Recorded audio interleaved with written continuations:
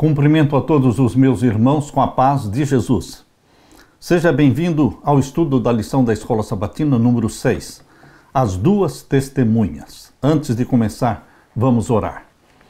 Pai querido que estás nos céus, estamos aqui na tua presença buscando a tua bênção, buscando o derramamento do Espírito Santo para mim e para os meus irmãos. Que o Senhor venha nos falar através da tua mensagem da lição desta semana. Que o Espírito Santo abra nossa mente para compreendê-la, para vivê-la, para pregá-la e para preparar um povo para a volta de Jesus. É em nome de Jesus que pedimos e agradecemos. Amém. As duas testemunhas. O verso áureo: a erva seca e as flores caem, mas a palavra do nosso Deus permanece para sempre. Isaías 40, verso 8 ao longo dos séculos. A Bíblia foi dissecada, posta em dúvida, descartada. Foi acorrentada em mosteiros, queimada em praça e rasgada. Os crentes foram ridicularizados, presos, martirizados. No entanto, a palavra de Deus prevaleceu. Aleluia! A Bíblia é vitoriosa. A igreja medieval da Idade Média perseguiu os fiéis, filhos de Deus, os santos do Altíssimo. Contudo, a Bíblia iluminou as trevas. Quando William Tyndale foi julgado por sua fé, lhe perguntaram quem o havia ajudado a espalhar a Bíblia. Ele respondeu: o bispo de Durham. Os juízes ficaram chocados com a resposta. Tyndale explicou que o bispo havia comprado um lote de exemplares da sua tradução da Bíblia e o queimou publicamente. O bispo não sabia que estava ajudando a causa da verdade, pois havia comprado as Bíblias a um preço bem alto. Com o dinheiro daquelas Bíblias compradas pelo bispo, Tindeio imprimiu muito mais Bíblias do que aquelas que foram queimadas. Queridos, nesta semana estudaremos um dos ataques mais cruéis às Escrituras Sagradas e à fé cristã. Na Revolução Francesa, o sangue fluiu nas ruas da França. A guilhotina foi montada na Praça de Paris e milhares foram mortos. O ateísmo se tornou a religião do Estado. No entanto, o testemunho da palavra de Deus não pôde ser silenciado e não pode ser silenciado nunca será silenciado. Esta lição se baseia nos capítulos 12 a 17 do livro O Grande Conflito. Na parte de domingo, duas testemunhas, testemunhas de Deus, que nunca deixaram de falar. Queridos, vamos abrir a palavra de Deus em Apocalipse capítulo 11. Apocalipse capítulo 11 e vamos ver então os versos 3 até o verso 6. Quais são as cinco características destas duas testemunhas de Deus? E darei poder às minhas duas testemunhas, e profetizarão por mil duzentos e sessenta dias vestidas de saco. Estas são as duas oliveiras e os dois castiçais que estão diante do Deus da terra. E se alguém lhes quiser fazer mal, fogo sairá da sua boca e devorará os seus inimigos. E se alguém lhes quiser fazer mal, importa que assim seja morto. Estes têm poder para fechar o céu, para que não chova, nos dias da sua profecia, e têm poder sobre as águas para convertê-las em sangue e para ferir a terra com toda sorte de pragas, todas quantas vezes quiserem. Em Zacarias capítulo 4, o profeta viu duas oliveiras, uma à direita e outra à esquerda do candelabro de ouro. A mesma imagem que encontramos em Apocalipse capítulo 11. Zacarias é informado de que representam os dois ungidos que estão a serviço do Senhor de toda a terra. Zacarias 4:14. As oliveiras alimentam o azeite no candelabro para que ele continue a dar luz. O salmista escreveu: Lâmpada para os meus pés é a tua palavra e luz para o meu caminho. Salmo 119, 105. O azeite representa o Espírito Santo. A visão de João em Apocalipse 11 descreve a palavra de Deus sendo proclamada no poder do Espírito Santo para iluminar o mundo. Essas duas testemunhas podem profetizar e impedir que a chuva caia pelo tempo que profetizarem. Podem transformar água em sangue e ferir a terra com pragas. Pela palavra de Deus, Elias, o profeta de Deus, disse que nenhuma chuva cairia sobre Israel por três anos e meio, e em resposta à sua oração, não houve chuva por três anos e meio, conforme Tiago 5,17. Então ele orou e a chuva voltou, enquanto os profetas de Baal falharam em acabar com a seca. Queridos, Moisés, pela palavra de Deus, anunciou dez pragas lá no Egito, incluindo transformar a água em sangue, pois Faraó se recusou a deixar o povo de Deus ir. Aqueles que tentaram prejudicar as Escrituras serão consumidos pelo fogo, que sai da boca das duas testemunhas. Visto que eles proferiram tais palavras, eis que transformarei em fogo as minhas palavras na sua boca e farei deste povo lenha, e o fogo os consumirá. Isto está em Jeremias 5,14. A palavra de Deus pronuncia juízo sobre todos os que rejeitam a palavra de Deus. Em João 5,39, Jesus declarou que as escrituras do Antigo Testamento, a única escritura que existia no tempo de Jesus, testificavam, davam testemunho dele, de Jesus. Ele também disse que o evangelho seria proclamado para testemunho ao mundo inteiro. Mateus 24, 14. A base desse testemunho é o Antigo Testamento junto com o Novo Testamento. A palavra traduzida como testemunho nesses dois versos vem da mesma raiz, martis, da palavra traduzida como testemunhas, em Apocalipse 11, verso 3. Quem são essas duas testemunhas de Apocalipse 11? Tendo em vista estes pontos bíblicos e as características dadas em Apocalipse 11, concluímos que as duas testemunhas devem ser as Escrituras do Antigo Testamento e do Novo Testamento, que comunicam a luz e a verdade de Deus para o mundo inteiro. Queridos, nós temos estas duas testemunhas, o Antigo e o Novo Testamento, a palavra de Deus, inspirada pelo Espírito Santo, e ela deve ser luz para os nossos pés, luz para o nosso caminho, bússola na nossa vida as duas testemunhas transformam o coração daquele que lê, daquele que ora, daquele que crê nas palavras que saíram da boca de Deus. Obedeça e pratique a palavra de Deus. Deixe-se transformar por ela. Escondi a tua palavra no meu coração para não pecar contra ti. Aleluia. Na parte de segunda-feira, Períodos de tempo proféticos. A Bíblia nos mostra profecias de tempo profético, quando um dia vale um ano, conforme Números capítulo 14, verso 34, Deus diz: Um dia te dei para cada ano. Portanto, em profecia, um dia equivale a um ano. Números 14, 34. Mas a Bíblia também fala de profecias de tempo literal. Tempo literal é quando um dia vale um dia. Portanto, meus queridos, vamos analisar agora o capítulo 11 de Apocalipse, o verso 3. Abra sua Bíblia e vamos ver o verso 3 de Apocalipse 11. E darei poder às minhas duas testemunhas e profetizarão por 1260 dias vestidas de saco. Agora abra sua Bíblia em Apocalipse capítulo 12 e vamos ver o verso 5 e o verso 6. E deu à luz um filho, um varão, que há de reger todas as nações com vara de ferro, e o seu filho foi arrebatado para Deus e para o seu trono. E a mulher fugiu para o deserto, onde já tinha lugar preparado por Deus para que ali fosse alimentada durante 1260 dias. E lemos também o verso 14 e 15. Apocalipse 12, versos 14 e 15.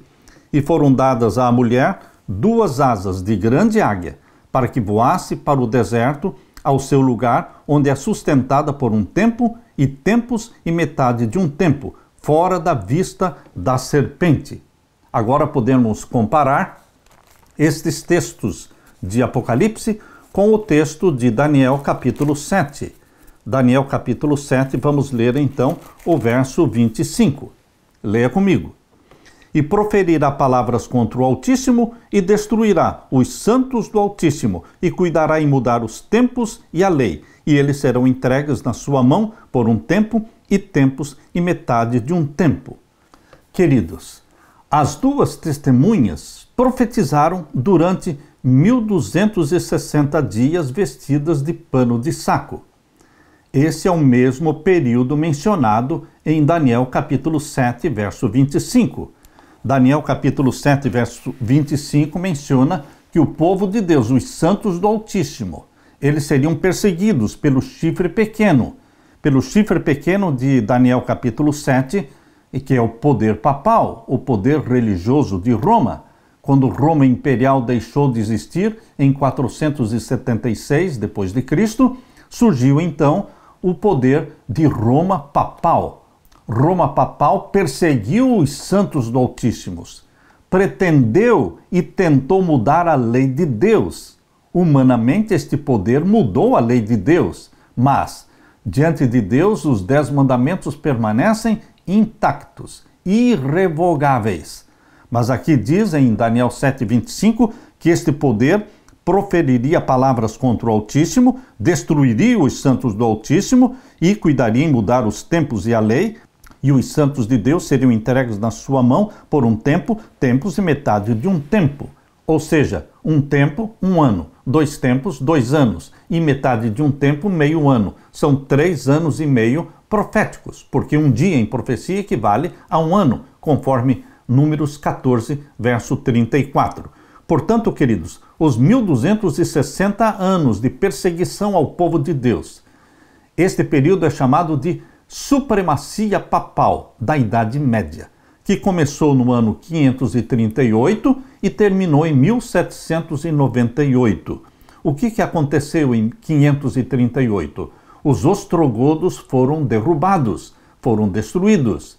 Roma papal não somente perseguiu o povo de Deus, como tentou mudar a lei de Deus, eliminando o segundo mandamento da lei de Deus que proíbe a adoração de imagens e eliminando também o quarto mandamento da lei de Deus, que diz: Lembra-te do dia do sábado para o santificar. Seis dias trabalharás, para toda a tua obra, mas o sétimo dia é o sábado do Senhor teu Deus. Nele não farás nenhuma obra.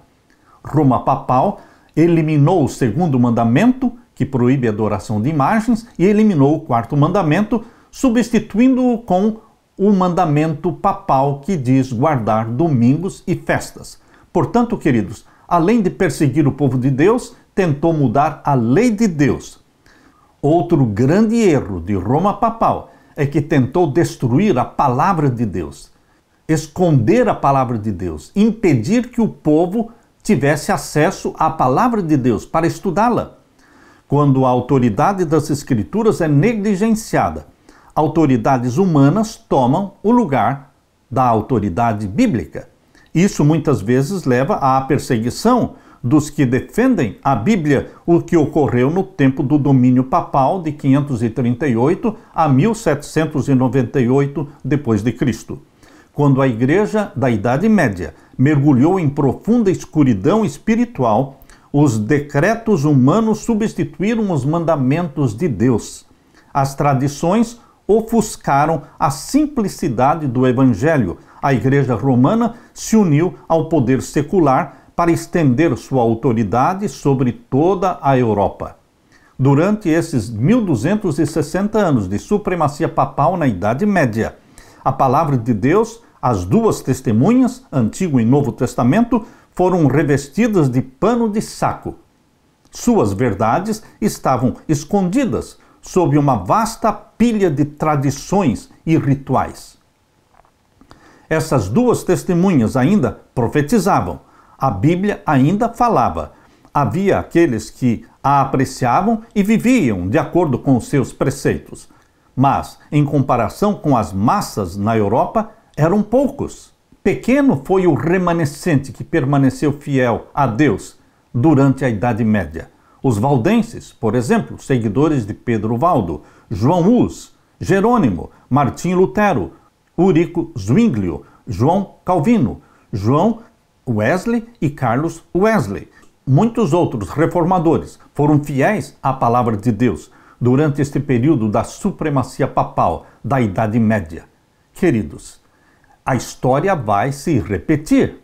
O que nós vimos no passado vai se repetir agora nesta última geração, antes da volta de Jesus. Haverá novamente uma supremacia papal através da ordem mundial. Nova ordem mundial é a supremacia papal do tempo do fim, porque todos os reinos da terra, todos os países, todos os líderes mundiais, eles vão se submeter ao papado e vão obedecer aos decretos e às leis papais. E o povo de Deus, assim como no passado, o povo de Deus foi perseguido, o povo de Deus novamente será perseguido. A profecia está mostrando para você e para mim que a história se repete, mas o remanescente fiel de Deus existe hoje e você está sendo chamado por Deus para fazer parte deste remanescente fiel que não obedece leis humanas, mas obedece pelo poder do Espírito Santo a lei de Deus, pois a tem gravada no coração gravada, memorizada na mente. E nós temos a alegria, o prazer e o poder do Espírito Santo para obedecer os mandamentos de Deus. Aleluia! Na parte de terça-feira, as duas testemunhas são mortas. As duas testemunhas são Antigo e Novo Testamento.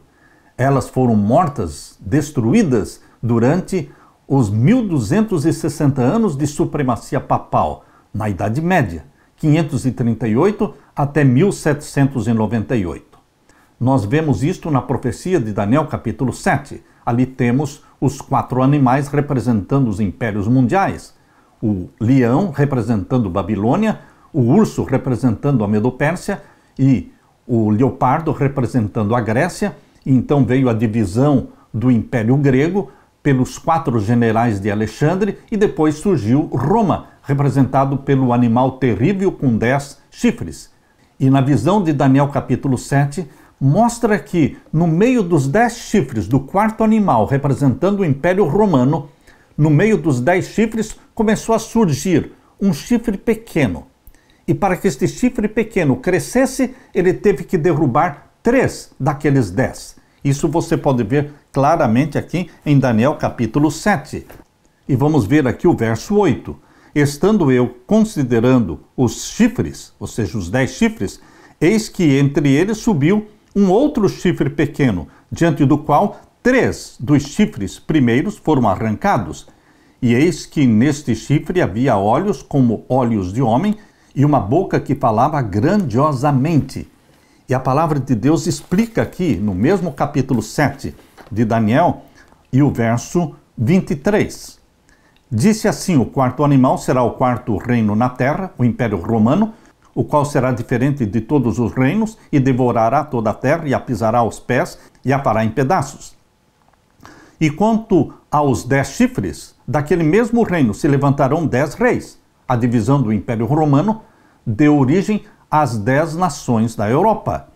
E depois dele se levantará outro, o qual será diferente dos primeiros, ou seja, um décimo primeiro. O chifre pequeno surgiria no meio dos dez, o qual será diferente dos primeiros e abaterá a três reis, diz aqui em Daniel 7, verso 24. O chifre pequeno representa o poder papal que surgiu na Europa. No meio das dez nações surgiu uma outra nação, um outro poder, o poder papal. Queridos, para que o poder papal crescesse e se fortalecesse, ele teve que derrubar três dos primeiros reinos, três das primeiras tribos. E exatamente, sob a influência do poder papal, os Élulos foram destruídos em 493 e depois em 534 foram os vândalos e em 538 foram os ostrogodos. Essas três tribos que eram contrárias aos credos e aos ensinos da igreja de Roma foram destruídas. E então permaneceram sete daquelas dez tribos. Queridos, foi no ano de 533 que o imperador romano Justiniano nomeou o Papa Vigílio como cabeça geral da igreja. Percebam, no ano 533 e no ano 534 os vândalos foram destruídos. E no ano 538 os ostrogodos foram destruídos. E então estava livre o caminho para a ascensão papal, para o domínio papal da Idade Média. Portanto, em 538 começou a supremacia papal de 1260 anos, que se estendeu até 1798. Porém, queridos, no dia 10 de fevereiro de 1798, o general Berthier, general de Napoleão Bonaparte, ele invadiu Roma, prendeu o Papa Pio VI, levou-o para Valença, na França, onde ele permaneceu preso até a sua morte. Portanto, terminou o período de supremacia papal em 1798, mais de 500 anos antes de Cristo. Daniel previu com precisão os eventos que ocorreriam no futuro, na queda de impérios e no surgimento de Roma papal. Nós poderemos confiar na palavra de Deus, nas profecias bíblicas. A verdade do Evangelho foi mantida viva pelo testemunho da palavra Porém, desafios ainda maiores ameaçavam a verdade bíblica. A besta que subiu do poço do abismo, ela é Satanás.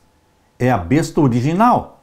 Em Apocalipse você vê três bestas: a besta do abismo, que é o próprio Satanás, a besta que subiu do mar, que é o poder papal, e a besta que subiu da terra, os Estados Unidos da América do Norte, representando o protestantismo apostatado estas três bestas se unem para o domínio papal. Mas aqui em Apocalipse capítulo 11, nós vemos no verso 7 até o verso 9, a besta que subiu do abismo, Satanás, declarando guerra às escrituras sagradas. Ele iniciou novos ataques à autoridade da Bíblia por meio da Revolução Francesa que começou em 1789. Abra sua Bíblia, portanto, em Apocalipse capítulo 11 e vamos ver os versos 7 até o verso 9. Leia comigo.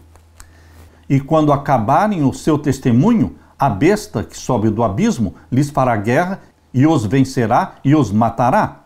Quando terminou a supremacia papal da Idade Média, perseguindo o povo de Deus e perseguindo também as duas testemunhas, Antigo e Novo Testamento, porque a Bíblia estava na lista dos livros proibidos.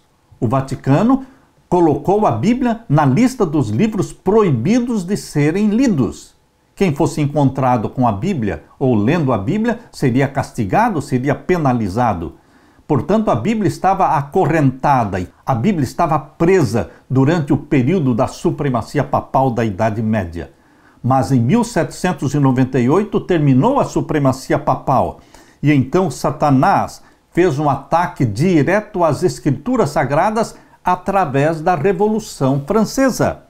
E quando acabarem o seu testemunho dos 1260 anos, a besta que sobe do abismo, que é Satanás, lhes fará uma guerra e os vencerá e os matará durante a Revolução Francesa.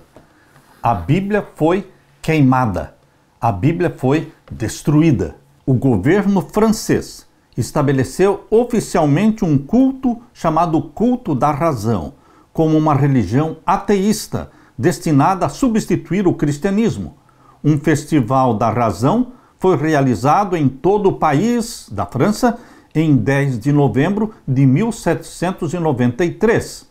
Um culto ao ateísmo, à deusa da razão.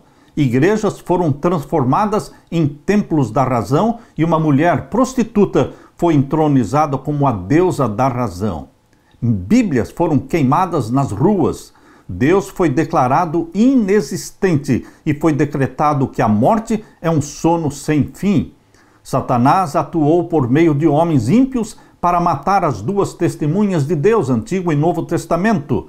Seus cadáveres ficaram atirados na praça da grande cidade que espiritualmente se chama Sodoma e Egito, a cidade de Paris, onde também o seu Senhor foi crucificado.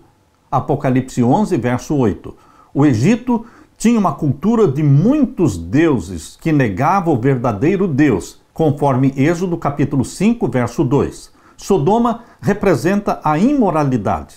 Pois bem, na Revolução Francesa, as duas testemunhas de Deus, Antigo e Novo Testamento, jaziam mortas devido ao ateísmo e à imoralidade desenfreados, enquanto as restrições normais eram afrouxadas na Revolução e no derramamento de sangue os corpos das duas testemunhas não seriam sepultados durante três dias e meio. Apocalipse 11, verso 9. Abra sua Bíblia e leia comigo Apocalipse 11, verso 9. E os homens de vários povos, e tribos, e línguas, e nações verão seus corpos mortos por três dias e meio, e não permitirão que os seus corpos sejam postos em sepulcros. Pois bem, queridos, o ateísmo esteve no seu auge na Revolução Francesa por cerca de três anos e meio. Esse período se estendeu do dia 26 de novembro de 1793, quando um decreto de Paris aboliu a religião, e no dia 17 de junho de 1797 é a data em que o governo francês removeu suas leis religiosas restritivas. Portanto, os três anos e meio em que Antigo e Novo Testamento permaneceram como que mortos se cumpriu na profecia da Revolução Francesa, se cumpriu no decreto feito na França abolindo a Bíblia, abolindo a religião. Isto durou do ano 1793 até o ano de 1797, por três anos e meio. Mas a Bíblia diz que as duas testemunhas, que pareciam mortas, elas reviveriam, elas seriam novamente exaltadas. Aleluia! A Bíblia pode ser combatida, a Bíblia pode ser desprezada, pode ser acorrentada, mas ninguém pode vencer a Bíblia, porque é a palavra de Deus, é a palavra viva de Deus. É um livro odiado pelos que não amam a Deus mas é um livro amado pelos filhos e filhas de Deus. A Bíblia é a única regra de fé e prática dos santos do Altíssimo. Queridos, entesourando a Bíblia no nosso coração, lendo a Bíblia com meditação e com oração diariamente, nossa vida será conduzida para o céu. Nós estaremos preparados para a volta de Jesus. Aleluia! na parte de quarta-feira, as duas testemunhas ressuscitam. Apocalipse capítulo 11, e agora o verso 11. Depois daqueles três dias e meio, ou seja, três anos e meio, de 1793 a 1797, depois daqueles três dias e meio, o Espírito de vida vindo de Deus entrou nas suas duas testemunhas e puseram-se sobre os seus pés, e caiu grande temor sobre os que os viram.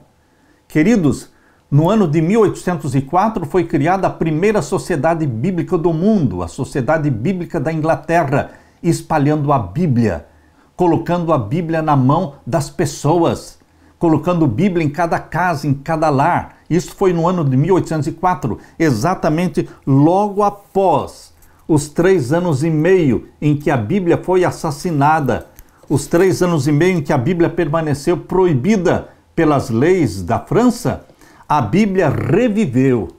E Deus usou a Sociedade Bíblica da Inglaterra em 1804. E logo em 1816 foi a Sociedade Bíblica Americana, foi fundada, espalhando Bíblia para o mundo inteiro. A Bíblia foi exaltada. A Bíblia foi introduzida nos lares e na vida das pessoas.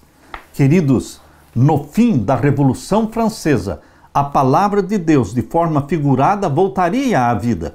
Haveria um reavivamento, grande temor cairia sobre os que vissem a palavra divina mais uma vez se tornar o poder vivo para a salvação. No fim do século XVIII, Deus levantou homens e mulheres comprometidos em levar o Evangelho até os confins da terra. Pessoas espalharam a mensagem da Bíblia rapidamente. Pessoas como William Carey, que viajou para a Índia e traduziu a Bíblia para dezenas de dialetos indianos. Impulsionados pelo poder da Bíblia, missionários foram enviados ao redor do mundo. Não foi por acaso, queridos, não foi por acaso que esses esforços missionários surgiram após a Revolução Francesa e após a prisão papal. A prisão papal ocorreu em 1798 e as sociedades bíblicas foram fundadas a partir de 1804. A palavra de Deus é viva, embora parecesse morta, vivia no coração dos crentes e ressuscitaria para a vida plena, como previram as profecias do Apocalipse. Certa vez, o incrédulo Voltaire declarou com arrogância, dizendo: Estou cansado de ouvir que doze homens estabeleceram a religião cristã. Eu provarei que basta um homem para destruir a religião cristã. Gerações já se passaram desde que Voltaire morreu. Milhões têm aderido à guerra contra a Bíblia. Ela, porém, está tão longe de ser destruída que, onde 100 exemplares existiam no tempo de Voltaire, hoje existem 10 mil ou 100 mil exemplares da Bíblia, do livro de Deus. Nas palavras de um antigo reformador em relação à igreja cristã, em relação à Bíblia, ele disse: a Bíblia é uma bigorna que tem gastado muitos martelos, mas esta bigorna, que é a Bíblia, permanece intacta, viva, transformando vidas.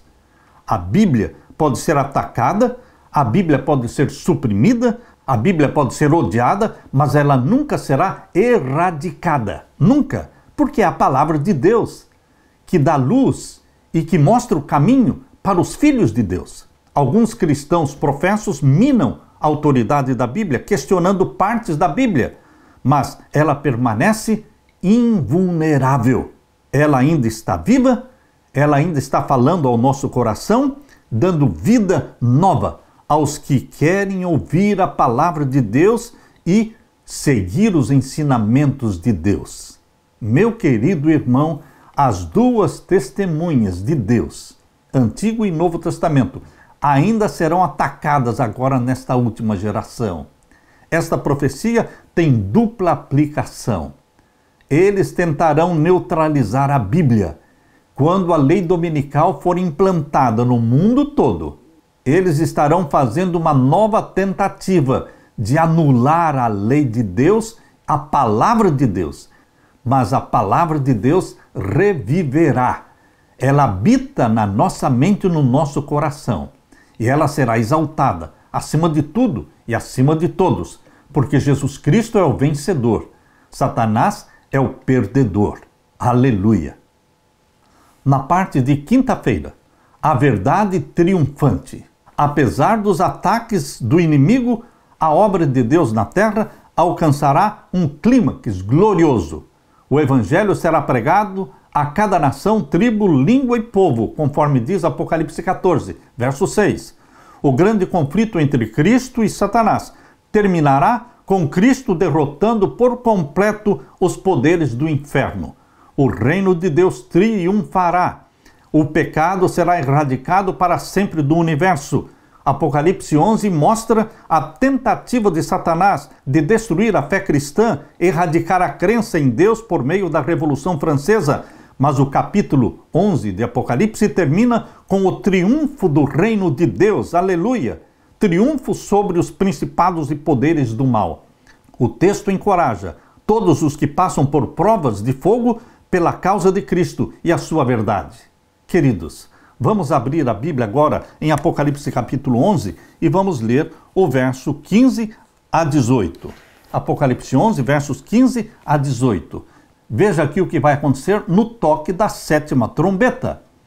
E tocou o sétimo anjo a sua trombeta, e houve no céu grandes vozes que diziam: Os reinos do mundo vieram a ser do nosso Senhor e do seu Cristo, e ele reinará para todo sempre. A sétima trombeta indica a vitória. a vitória plena de Jesus Cristo. Os reinos do mundo vieram a ser do nosso Senhor e do seu Cristo.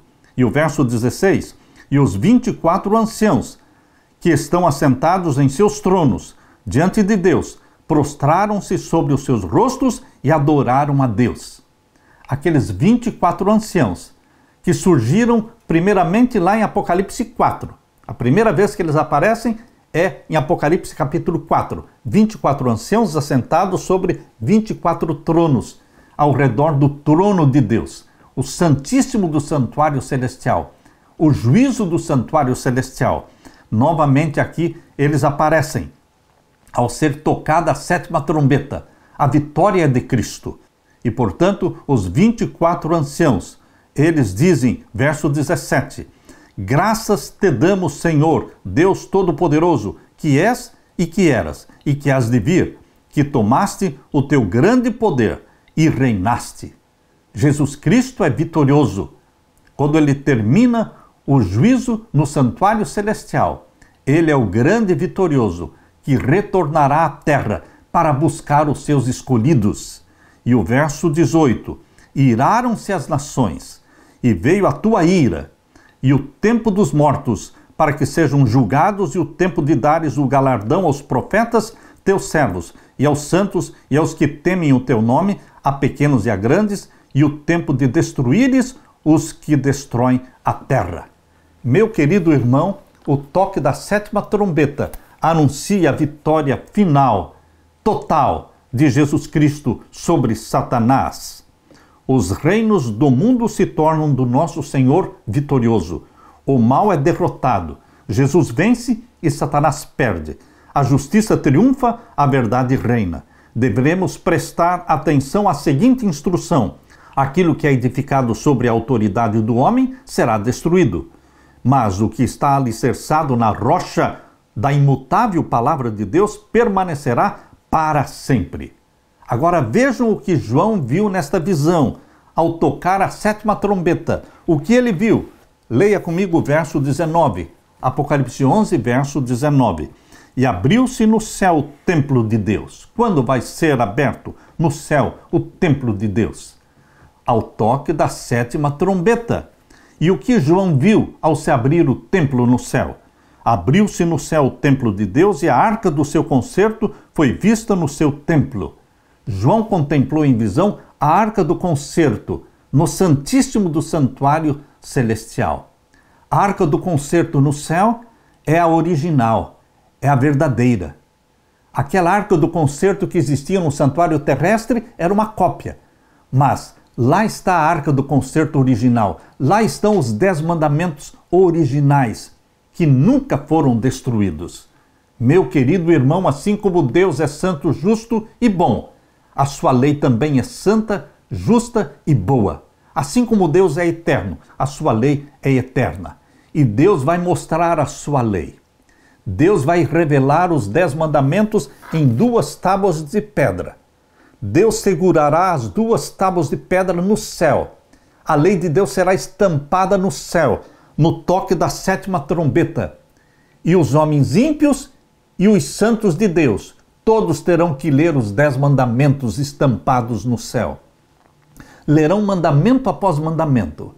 E lerão o quarto mandamento que diz: Lembra-te do dia do sábado para o santificar. Deus nunca mudou o sábado para o domingo. E os ímpios terão que ler este mandamento no céu. Os santos de Deus leem os dez mandamentos com alegria. Os ímpios leem os dez mandamentos com terror e com tremor porque a porta da graça já estará fechada. Quando a sétima trombeta for tocada, a porta da graça já estará fechada. Não existe mais arrependimento, não existe mais salvação. Quem está perdido, está perdido. E quem está salvo, está salvo.